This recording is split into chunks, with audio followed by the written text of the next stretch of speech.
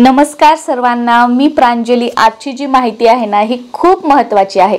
या गोष्टीकडे आपण कधीच लक्ष देत नाही आणि या गोष्टीचा विचार सुद्धा तुम्ही कधी केला नसेल. पण ही जी गोष्ट आहे ना ती खूप महत्त्वाची आहे.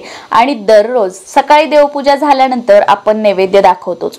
किंवा कोणते व्रत वैकल्य असतील जसं की सोळा सोमवार असेल वैभव लक्ष्मीचे शुक्रवार असतील स्वामींचे गुरुवार असतील म्हणजे नेहमी आपले काहीतरी व्रत वैकल्य जे असतात ते सुद्धा चालू असतात.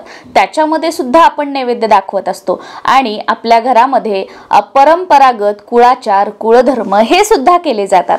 त्याच्यामध्ये सुद्धा नैवेद्य दाखवला जातो. आणि जे सणवार असतात त्याच्यासाठी वेगवेगळे ज्या त्या सणवारानुसार वेगवेगळे नैवेद्य असतात. तर तेव्हा सुद्धा आपण नैवेद्य दाखवतो. मात्र हे नैवेद्य दाखवल्यानंतर ते देवाजवळ किती वेळ ठेवावेत? आणि त्या नैवेद्याचं काय करावं? याचा कधी तुम्ही विचार केलेला आहे का? बऱ्याच वेळेला आपण काय करतो? देवाजवळ नैवेद्य ठेवला की तो दुसऱ्या दिवशीपर्यंत तसाच राहतो आणि दुसऱ्या दिवशी मग तो उघडा राहिला किंवा माझं लक्षच गेलं नाही मग तिथे तर काही गेलं असेल तर वगैरे म्हणून तो नैवेद्य टाकवून देतो किंवा बऱ्याच वेळेला आपली खात्री असते आपण लक्ष ठेवलेलं असतं की नाही हा नैवेद्य व्यवस्थित आहे तर तो आपण वापरतो सुद्धा. पण हे योग्य आहे का?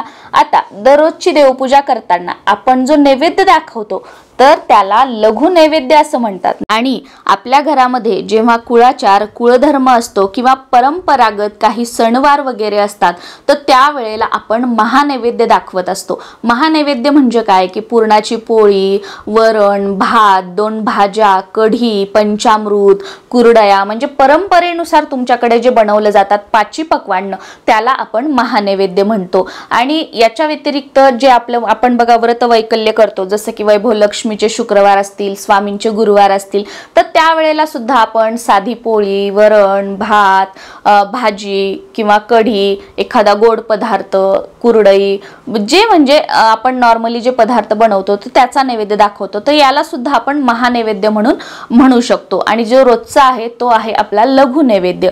आता देवांना नैवेद्य दाखवत असताना किंवा देवांना नैवेद्याचं ताट बनवत असताना त्याच्यामध्ये कधीही मीठ वाढू नये. देवाला नैवेद्याचं ताट वाढत असताना त्याच्यामध्ये मीठ वाढायचं नसतं.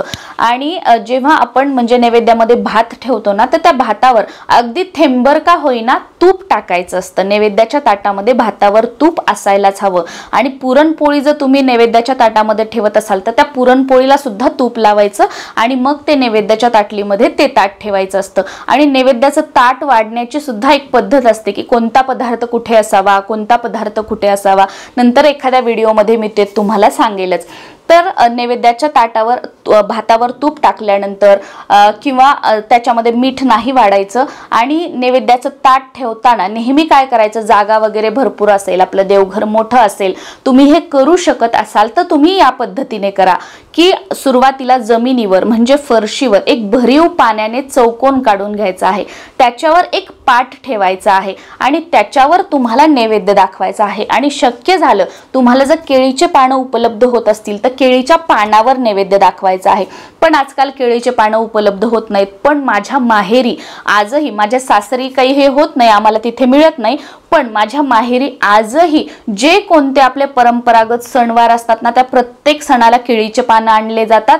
केळीच्या पानावर देवांना नैवेद्य दाखवला जातो. आणि जे काही आपले जेवण करणारे आहोत त्यांना सुद्धा केळीच्या पानावर म्हणजे जे सवाष्ण वगैरे बोलवलेले असतात ना आमच्याकडे म्हणजे ती पद्धत आहे की सवाष्ण वगैरे बोलवतात. तर त्यांना सुद्धा केळीच्या पानावर जेवण दिलं जातं. आणि माझ्या सासरी म्हटलं तर कंपल्सरी ज्या आपल्या गौरी असतात ना तर त्याला आम्ही कुठूनही का आणणं होईना. तेव्हा आम्ही गौरींना नैवेद्य दाखवण्यासाठी केळीचे पानच जे आहेत ना ते आणतो. भले आम्ही चांदीच्या त्याच्याखाली ताटल्या ठेवू देत पितळेच्या ताटल्या ठेवू देत पण त्याच्यावर केळीचं पान ठेवतो आणि त्याच्यावर गौरींचा नैवेद्य ठेवतो. तर म्हणजे एक केळीच्या पान जर तुम्हाला इझिली उपलब्ध होत असेल अवेलेबल होत असेल तर नैवेद्यासाठी तुम्ही त्याचा वापर आवर्जून करावा. आता नैवेद्य दाखवताना त्याच्यावर तुळशीचं पान सुद्धा आपल्याला ठेवायचं आहे. त्या पाटावर जेव्हा आपण नैवेद्य ठेवतो तर नैवेद्य ठेवल्यानंतर नैवेद्य दाखवून झाल्यानंतर नैवेद्य झाकून ठेवायचा असतो. नैवेद्य कधीही देवासमोर उघडा ठेवायचा नाही. नैवेद्य झाकून ठेवायचा असतो. आणि जर तुमच्याकडे देवघराची म्हणजे समोर मोठी जागा वगैरे अगदी पाटावर वगैरे नैवेद्य ठेवण्यासारखी जागा नसेल तर त्या फरशीवरच आपण पाण्याचा भरीव चौकोन काढायचा आहे. त्याच्यावर ताट वगैरे ठेवून नॉर्मल केळीचं पान नसेल तर ताट वगैरे ठेवून ह्या बाकीच्या गोष्टी फॉलो करून तिथे नैवेद्य दाखवायचा आहे. सुरुवातीला आपण सगळे मंत्र वगैरे म्हणून झाल्यानंतर त्या पोळीचा एक तुकडा तोडायचा आहे आणि जे काही पदार्थ आहेत त्याला लावायचा आहे आणि मग त्या पोळीवरच तो घास जो आहे एक तो तोडून ठेवायचा आहे. त्यानंतर तो जो नैवेद्य असतो तो झाकून ठेवायचा आहे. नैवेद्याच्या बाजूला नेहमी आवर्जून छोट्याशा तांब्या पेल्यामध्ये पाणी सुद्धा ठेवत जा. आणि नैवेद्य दाखवल्यानंतर तिथे ना तो की तुमचं देवघर किचनमध्ये असू द्या किंवा कुठेही असू द्या नैवेद्य दाखवल्यावर त्या नैवेद्याच्या आस आजूबाजूला ना कमीत कमी एक पंधरा मिनटं वीस मिनटं किंवा अर्धा तास तरी आपण जायचं नाही. तो नैवेद्य देव देवांच्या तिथं तसाच राहू द्यायचा. तिथे जास्त ये जा वगैरे करायची नाही. म्हणजे लहानपणीचं सांगते. माझी आजीना नेहमी समजा मामाच्या घरी वगैरे कुठे गेलो किंवा माझी जी आजी आहे त्या आम्ही लेकरं समजा जिथे नैवेद्य वगैरे दाखवला तिथे पळापळी वगैरे खेळलो तर आमची आजी म्हणायची काय बुळबुळ बुळबुळ करतात तिथे नैवेद्य वगैरे दाखवलेलं आहे. थोडंसं बाहेर खेळा ना.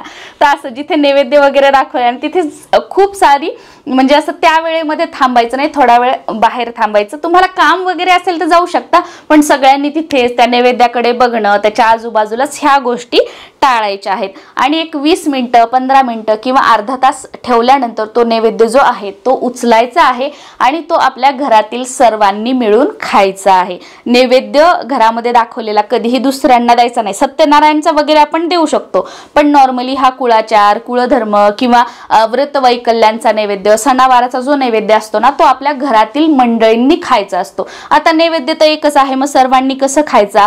तर त्यातला जो जो पदार्थ ज्याला त्याला आवडतो तर त्याने तो तो पदार्थ खायचा. म्हणजे जेवण करताना त्याला ज्याला जो पदार्थ आवडतो त्याला तो द्यायचा. म्हणजे काय होतं की नैवेद्य सर्वांच्याच पोटात जातो आणि तो नैवेद्य संपतो सुद्धा. तो नैवेद्य वाया जात नाही.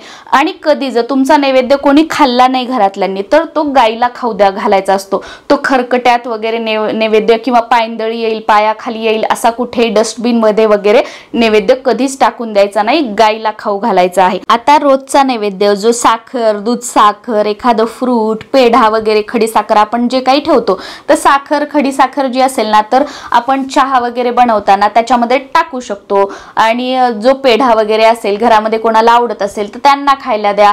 तो प्रसाद आपण रोजच सर्वांनी खावा असं काही नाही. तुम्ही तुम्ही जर रोज सर्वांनी खाल्ला तर खूप उत्तम आहे. पण आज मुलांनी खाल्ला कोण कोणाच्या आवडीचा पदार्थ तुम्ही ठेवला रोज त्याला खायला दिला तर असं सुद्धा चालतं. म्हणजे दिवस दिवस नैवेद्य देवासमोर उघडा वगैरे ठेवायचा नाही आणि खूप कमी वेळात सुद्धा ठेवायचा नाही की देवाला नैवेद्य दाखवला आणि लगेच उचलला. तर असंही करू नका. एक पंधरा वीस मिनिटं किंवा अर्धा तास तरी देवाजवळ झाकून ठेवा आणि त्याच्यानंतर तो नैवेद्य जो आहे तो आपण घरातल्यांनी ग्रहण करायचा आहे. आणि जेव्हा आपण देवाला दाखवतो तर तेव्हा तो नैवेद्य असतो. आणि जेव्हा नैवेद्य दाखवल्यानंतर आपण तो उचलतो आणि आपण जेव्हा तो खातो तर तेव्हा तो प्रसाद झालेला असतो. ही गोष्ट कायम लक्षात ठेवायची. बघा आपण जेव्हा एखाद्या मंदिरात वगैरे जातो तर आपण बाहेरून दुकानातून एखादा नारळ किंवा पेढे घेतो. आपण काय म्हणतो की पेढे द्या नारळ द्या खडी साखर द्या. आपण तो मंदिरामध्ये नेतो देवाच्या तिथे ठेवतो आणि ते आपण घेतो. जाताना फक्त आपण नारळ नेलेलं असतं किंवा पेढा नेलेला असतो. पण जेव्हा आपण ते मंदिरात देवाला स्पर्श करून किंवा फक्त मंदिरामध्ये देवाच्या समोरून जर बाहेर आणला तर आपण काय म्हणतो की हा घ्या प्रसाद.